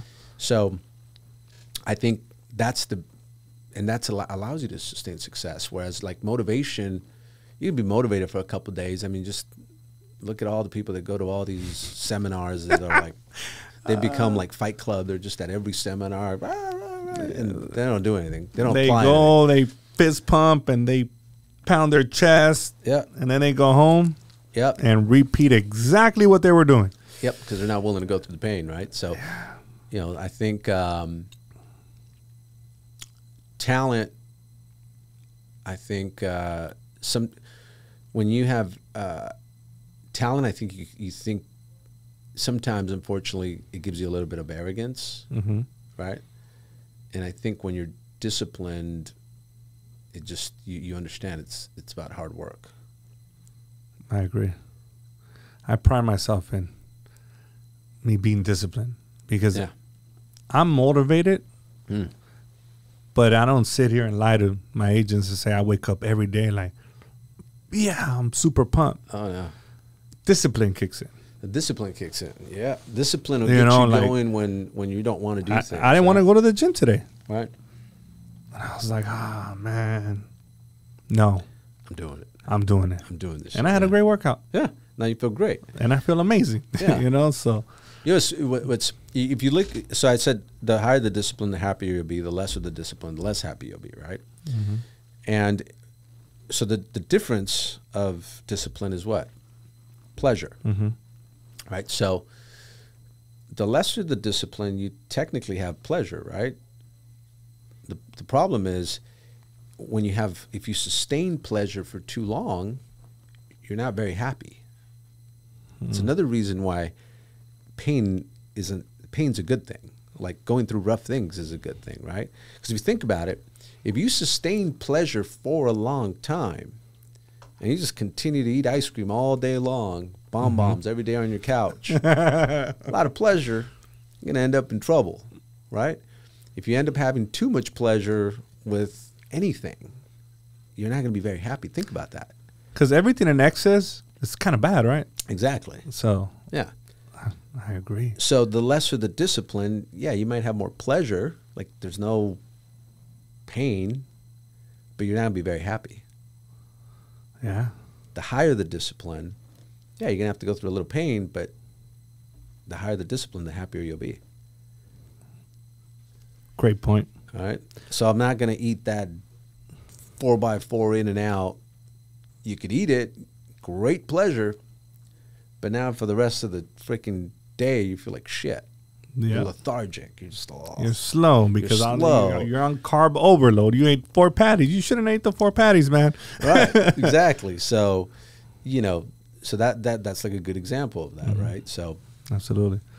What is your number one distinguishing quality that you feel has propelled you or has has gotten you to where you're at now?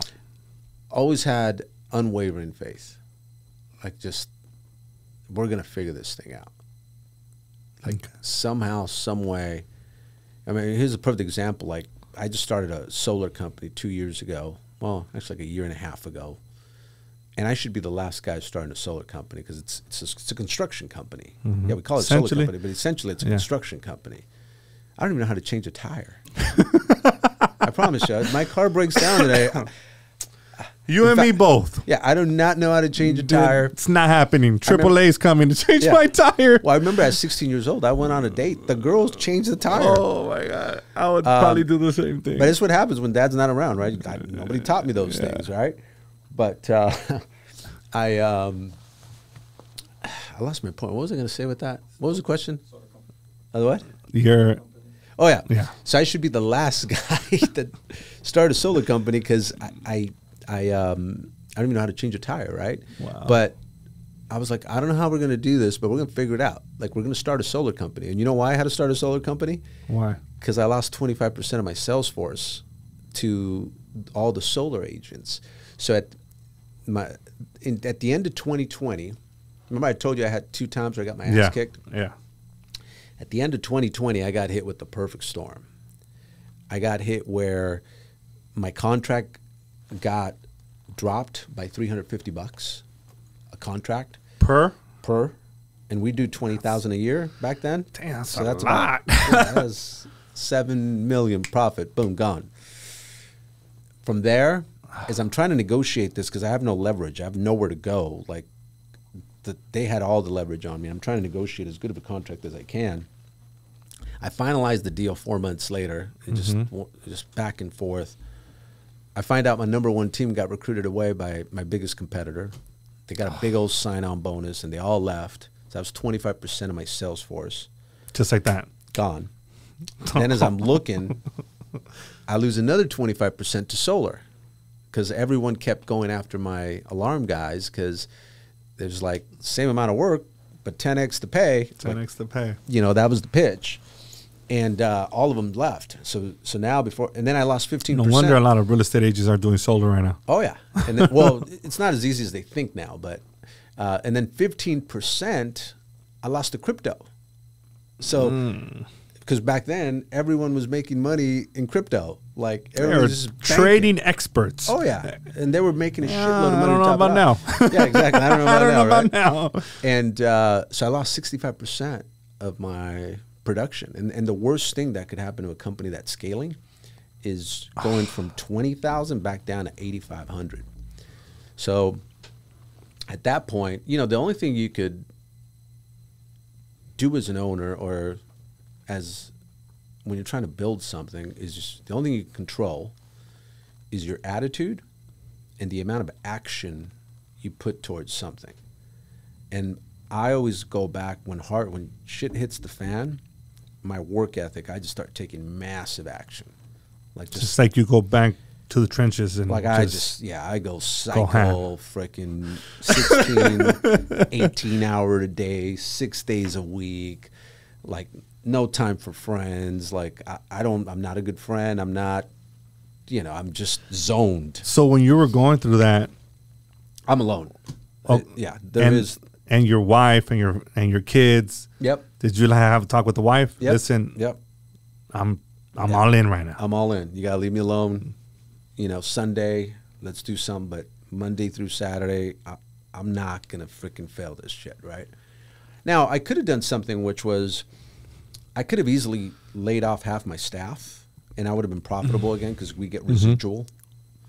But if I would have done that, the only guy making money again would have been me, and that doesn't drive and me there's no fun in that. there's no fun in that. Like, in order for people to make the kind of money I want them to make, I have to build it big enough that they can make that kind of money, right? Absolutely. So I was like, we're not going to lay off anybody. I have faith, back to faith. I have faith that we're going to build this thing back to what it was. And we're going to build a solar company while we're at it.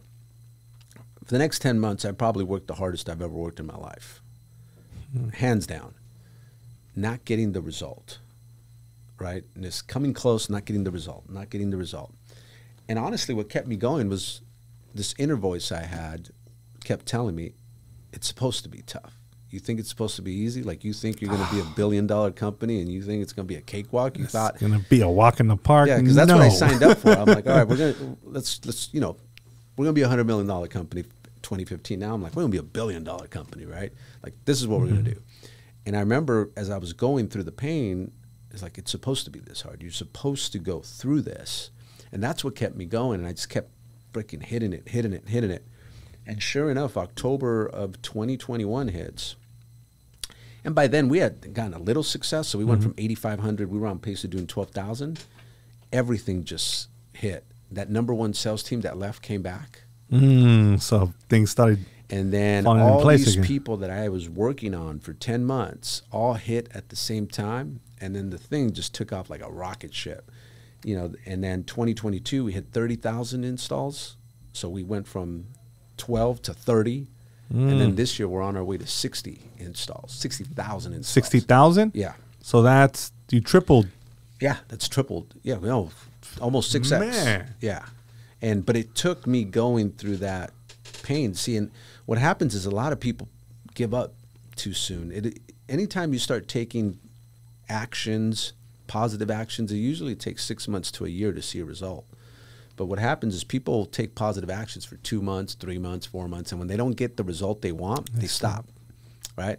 While I was just kind of focusing on the on the on the process, This is this, this is what I'm supposed to go through, and it, and it, I know for a fact, just because I had done it before, mm-hmm. when you put that kind of action towards something, there's always going to be a return. It's a universal law. But if you do nothing, you get nothing. And I just knew there's no way in hell that I put all this work and I'm not going to get a return from it. It's going to happen. It has to happen. And I'm just going to keep planting. Bam, bam. And now, granted, I knew that I was taking the right actions, right? Because you could be taking the wrong actions, but I just knew, man, the mm-hmm. way I just I'm going about this, like I know it's going to happen, and then it happened, and you know, now we're just now people see the success that we're having, but they didn't see that dark moment that I had to go through. People always just see the end result, Yeah. and don't see the struggles, the trials and tribulations. Like, Oh, yeah.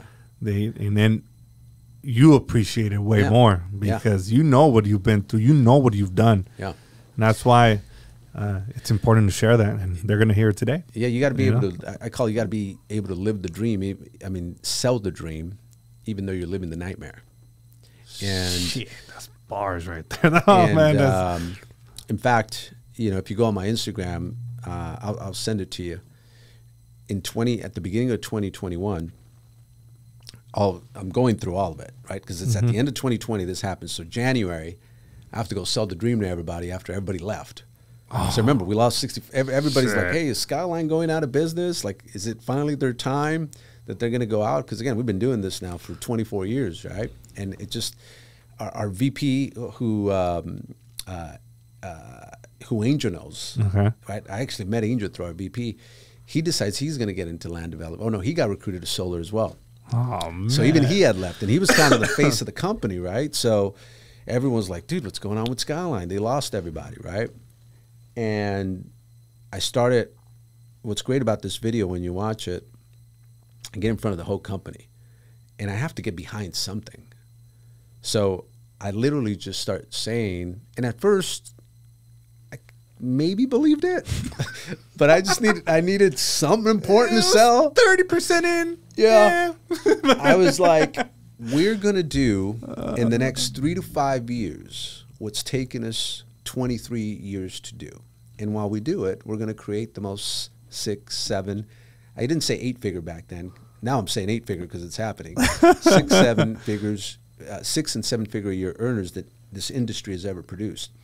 And I just kept saying it and saying it and saying it. Like to the point where I'm sure my guys were like rolling their eyes up. All right, dude, I get it. We're gonna be the most six, seven, eight, and then shit. Here we are, two years later, and this shit's happening. Uh, I bet you they're like, oh shit, he was, yeah. He was, he, he was But, right on point. uh, I'll send you that. It's actually pretty cool. I just Right. I just found that video the other day and I posted it, and I was like, holy shit! I remember when I said it, and it was during a dark moment. I didn't, but you you do Mm-hmm. see the certain like I was like, we're gonna figure this shit out. We're gonna will this thing to Man, happen. you manifested it and you made it happen. yeah, we're gonna will it to happen. You were probably like just tunnel vision. Oh, yeah. Nobody talked to me. I don't Wanna, I don't even want to eat. Just Yeah. working, working, working. Yeah, So now that you guys are at an all-time high, yeah. you know you're a high net worth individual. Mm-hmm. So my question to you is: You make subs- a substantial amount of money from Skyline. Right. Where do people like yourself invest that money? Real estate, stocks, like where? Well, I've always been into long term growth, like Mm-hmm. because the cash flow's coming in. Like I, I need something more for again the future. So I love an IUL, an Index Universal Life. I got two of those. Yeah, I love those things, man. Especially Nah, you just solidified. yeah, okay. especially if you're Good. about long term growth, right? Like, Absolutely. uh, like compounding of stuff and Okay. Because you know what I like about an IUL is like, let's say God forbid you do some stupid shit with your money or somebody freaking takes you. Mm-hmm. Ain't no one taking that, right? It's there. It's there, you know, and because God forbid when you're older you don't have as much energy as you do when you're young. So. Do you have several IULs? Yes. Do you- and and I go ahead. And do you have IULs for your kids as well, or is it just for you? Or So, bad mistake I made. My wife, I kept telling her, "Let's get your IUL. Let's get your IUL." She kept procrastinating, kept procrastinating. She got diagnosed with cancer.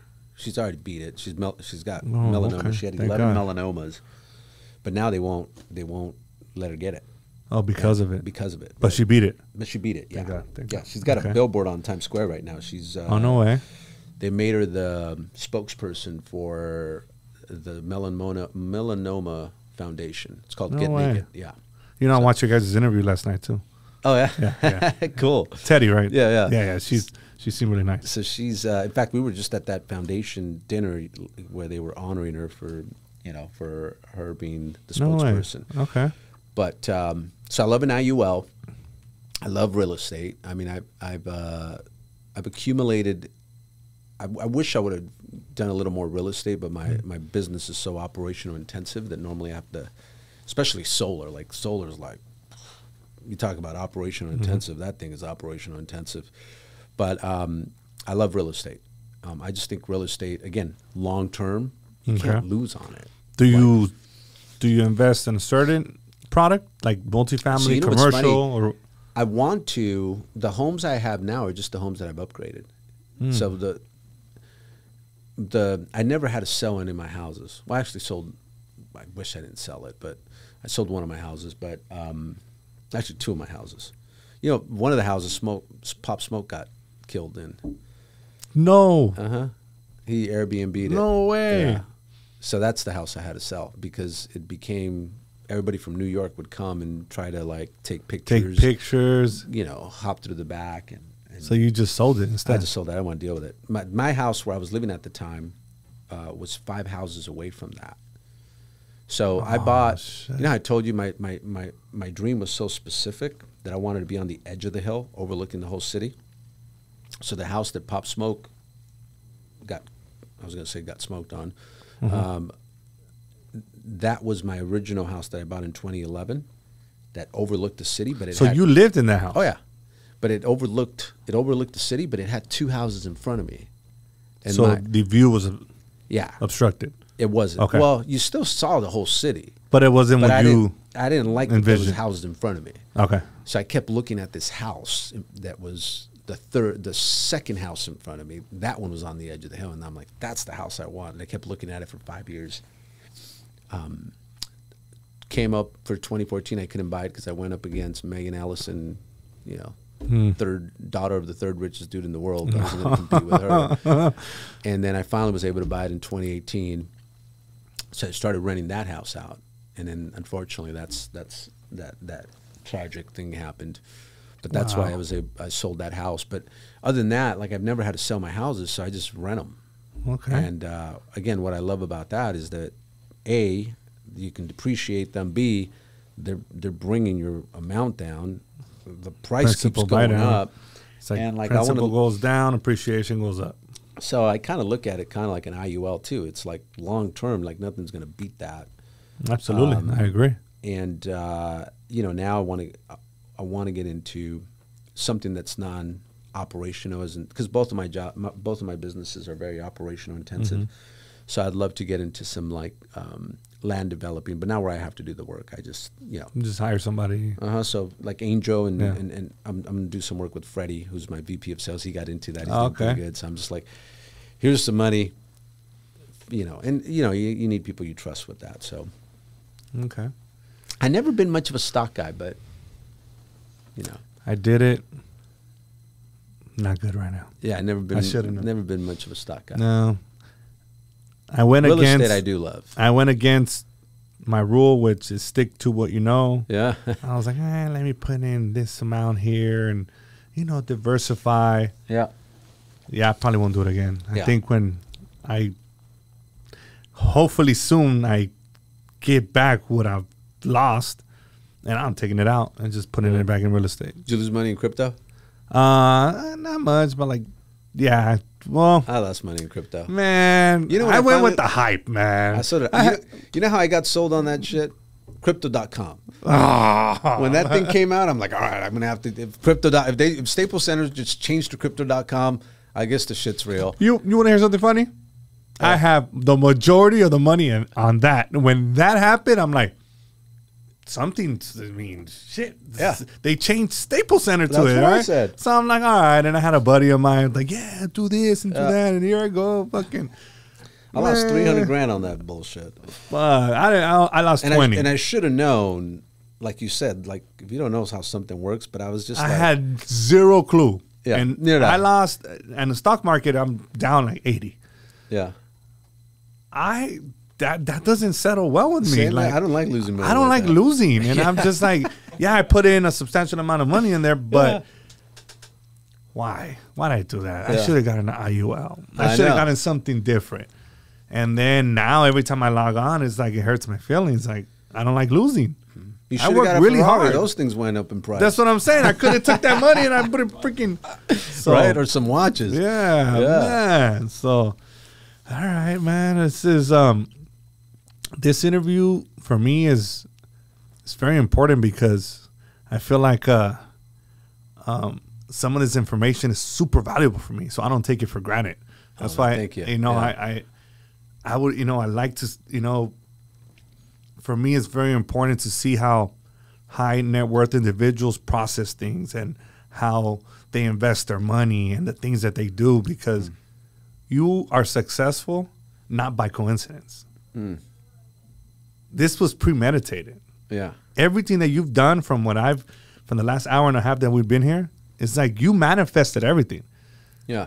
And it's super for, for me it's like a treat. Like I'm like, Yeah. oh man, I'm here like a little kid just listening. Like, okay, and I'm probably gonna watch this twice, take down some notes, and I hope our audience gets a lot of golden nuggets because it's very important. You know, it's a cool book um, that you know for many for many years people would say because you know I never I, I, I didn't pick up books. Mm-hmm. They used to be like, "Have you read that book, Think and Grow Rich?" And I was like, "No." It's like I your story reminds me a lot of Think and Grow Rich, right?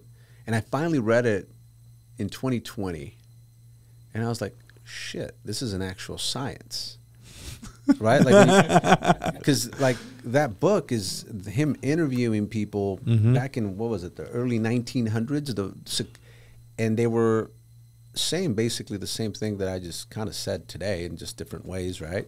Different And- eras. Yeah, different Smart. eras. But uh, as I looked Same at it. I'm like, oh shoot, like this is an actual science because they were applying it. I I just happen to kind of I, I always, you know, another gift of mine I think that I've been very blessed with is just uh, wisdom. Mm. You know, a lot of that stuff came from just common sense, but you know, for some people, it's not that common, right?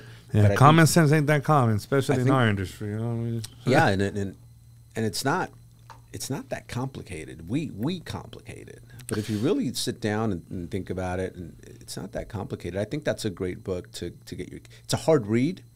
Like Mm-hmm. it took me a while to read it because it's like old English and stuff. But I think like if you were going to have your kid read something, Read that's a that? book you have them read. How about Rich Dad Poor Dad? 10x.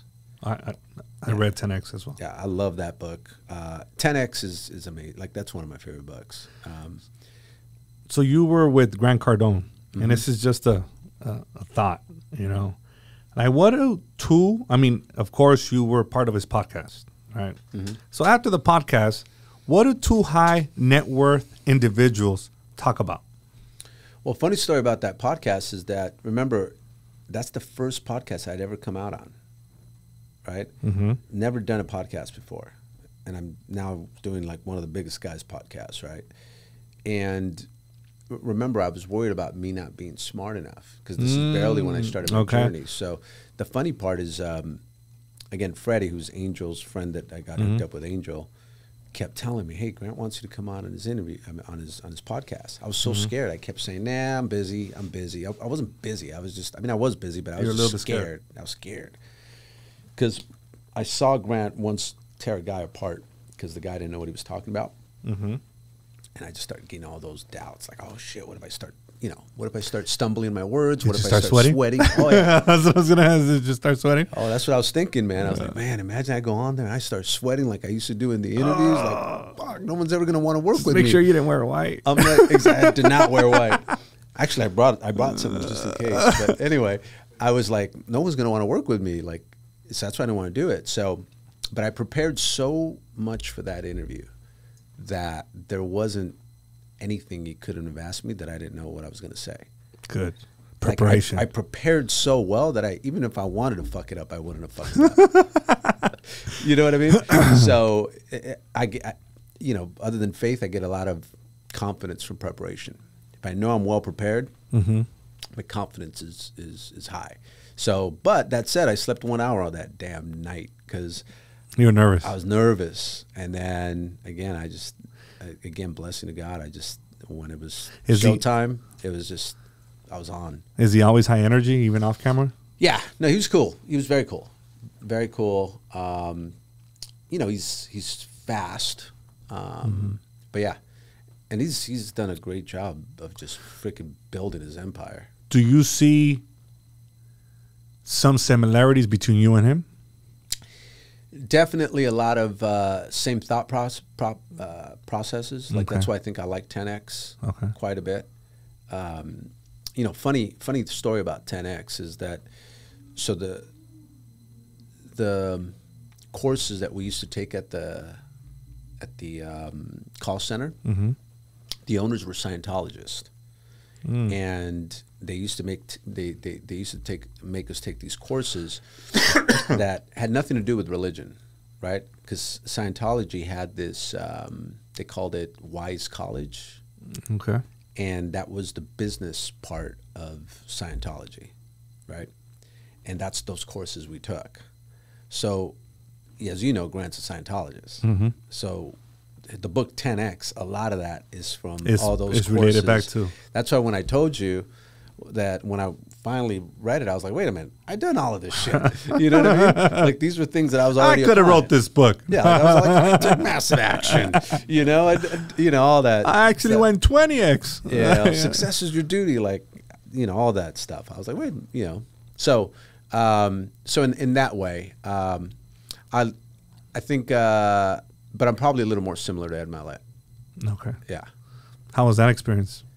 Oh, he's I, I he's watched one that. Of, he's one of my best friends. He's he's. I uh, watched that home. He's my mentor too. Like, oh I've- no way. Yeah. So that's why I said he's he's you know I gravitated more to to Ed. He's more my style. That's why I started studying him. And uh, you know one of the great things about like when Ed and I hang, like I don't ask him any business questions. Like I've studied him so much that I already know all the answers from So it's just the average conversation. yeah. You guys have it- similar you know, when you- interests. when, you, think about it, it's like the last thing he wants to do if we're hanging out is freaking have Talk another business. dude asking him another question oh about man, business. I could just imagine. You know what I mean? Okay. But I don't like. I'm not going to waste his time. Like every answer I could ever have, just study the guy, and he'll give you every answer, right? So, you know, that's what you know. The thing about mentorship, you don't they, nowadays. Before it wasn't like this, but nowadays anybody could be your mentor. Just start studying them. You know, I have notes and notes and notes and notes and notes of Ed Mylett, word for word. And I started studying that guy like crazy. And then, you know, now, like I said, he's he's a mentor. He's kind of a he's a best friend of mine. Uh, Erwin McManus, same thing. That's my other mentor. Uh, if you know who he is, study him quite a bit. He's a pastor of Mosaic. Jon Gordon has become a very good friend of mine as well. Who's a, a lot of mentorship from him as well. Just you know, What's one similarity between all of your mentors? faith. We're all big So they're all believers. big We're all big believers. We're all about serving people first, and uh, humility. I think. I think. You know. I, I, I love that about. You know, like. All very successful, but I, I just like how how um, but followers of Christ. You know, I think. I think um, you are who you associate with. And remember how I told you there's different areas of your life Mhm. that will begin to spike at different moments. Like for me, one of the things that I'm trying to get closer to is, is God. So if you want to get closer to God, right, I want to hang out with people that are close to God, Absolutely. right? When I was partying like crazy, those Yeah, were was- those were my friends, right? I used to hang out with the guys that wanted to party.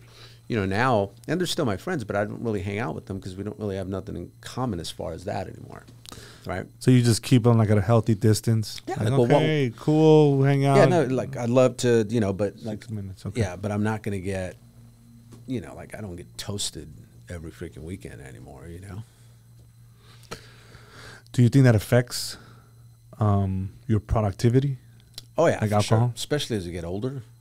Like I can't. hangovers Oh, are horrible. horrible. yeah, horrible. Like four or five days it lasts, man. So I got to be, you know, actually, I loved a, a Grant post I saw the other day about him declining some pretty cool parties and and it, it resonated because I've declined some pretty cool parties, but it's just it's not worth it. Like, man, my day is too important the next day to I think I, fudge de- that up. I decline every invitation, every realtor invitation, yeah, because I feel that it's nothing productive going to happen. yeah, I don't want to wake up feeling like shit, yeah, and I don't want to mess up my routine yep, because I will pay. Mm-hmm, You know, and I'm really hard on myself. yeah, I see you could have avoided that. You could have just went home and yeah. just. Sorry, I think you have kids too, right? Yes. Yeah, so it's I'd rather be with my kids. exactly because that's the other thing. If you get plastered, like you don't even have the energy for your kids the next day. Can't do that. So it's not it's not even about you anymore. Because like if it was if you didn't have kids, yeah, you could just lay around all day. But And imagine like if you're always working and then like that's why Fridays Saturdays is hard for me to go out because I'm like that's usually when I spend time with the Yes. kids is all day Saturday, all day Sunday, and the last thing I want to be is hungover Yeah. while I'm hanging out with them. That's why I need to bring the energy to them. That's why my wife Monday through Friday she pretty much like go Leave you alone. Yeah, same here. Go ahead. And I get if I get home late, she's like, "You were home late." Yeah. But come Friday, Yeah. uh, I don't work the weekends, so Yeah. I'm just there Mhm. with my kids. I'm just happier doing. We could be watching TV, and it just makes me, Yeah. you know. Yeah. So, one last question. You guys have something, um, a new product that involves the uh, real estate market? Yes. Which is uh, wh- what's a squatter program is what we're calling it, right? Where, you know, when when investors, you know, buy a home, what's been happening quite a bit is you have a squatter that if he enters your home and he's there for, I believe, a week or so, and you can't catch him, then he now has rights to that house. He established he establishes a tenancy by putting a light bill or anything like that. yeah, so he's now there, and and You evict him. So it's a real a thing. headache. So you know what we're doing is working with real estate agents where we give them the alarm system uh, when they buy their home. We give them their alarm system, and now they can remotely manage everything in that house as it's time to actually sell it. So if somebody breaks in through the door, breaks from through the window, obviously they get a notification that somebody's breaking in, and then the police are now dispatched. Right. Awesome. Um, so it's a way to help them out, but also when the new homeowner comes in and buys it, you know, the idea is that we have first dibs on it, and if the customer ends up getting it, the uh, realtor gets a healthy commission on it. Mm, okay. And then on top of that, there's also the solar side of it. So, Awesome. hmm All right. So so we're working so- with a lot of real estate agents. Uh, they love that stuff, and um, and then again, just e- even if it's not a squatter program, it's just a real estate agent. Obviously, you know, thing with homeowners, they're going to get an alarm somewhere, right? Yeah. Right. And if we can get to them first before it becomes public information, then it's a slam dunk, right? But, but the beauty about the real estate agent is we give everything everything away at no cost. So we can give them the installation equipment at no cost. The only thing they pay for is the monthly monitoring, Mm. right? Okay. So you're you almost gift it to them because what will happen is if you don't do it, they're going to get hit up by God knows how many mailers, how many calls. It's going to be ADT typically. They're going to say, "Hey, we're going to we're going to give it we're, we're going to give you this at no cost. It's two doors, one motion." And then when the installer shows up, they're going to upsell them all kinds of money, and before you know it, they're coming man, out of there with true. four thousand bucks, five thousand bucks, when they could have just got everything at no cost. Hmm. So that's we're actually going to cover the doors, windows, all that good stuff from the All get right, go. cool. Yeah, no hidden. They show up later trying to. No hidden fees, guys. Yeah. Bam. That's awesome. Well, thank you so much for Hey. stopping by. I know Man, you're busy. fun. This was a lot of fun. That I- flew by. yeah, it was almost two hours. Oh shoot! Yeah. Damn. Yeah. Damn. Okay, So- that's why we did a Joe Rogan style. Yes, and honestly, it it means a lot to me, and I know that Yeah. this one I was just more paying attention. It's like, man, so I'm gonna go back and probably watch it twice and and take down some notes because you're not successful by accident. I think I appreciate it. You know, everything takes a lot of effort, a lot of sacrifice, and I hope that our audience gets a lot of golden nuggets mm. because uh, there's fundamentals to it, mm. and I think there's it's it's there's a lot of behind the scenes that they don't know, mm. Now that they probably got a little glimpse of it now, and Yeah. and maybe they could implement this in their lives. Yeah. So This is pretty cool that we're able to do it for an hour and 44. It's got me to tell stories that I never man, I think we could have gone for more. Oh, yeah. I was just warming up. but thank you so Yeah, much for for stopping by, and we might do a part two. Yeah, let's do it. Let's do it. All right. Awesome, Edwin. Thank All you right, so much. champ. Good to see you.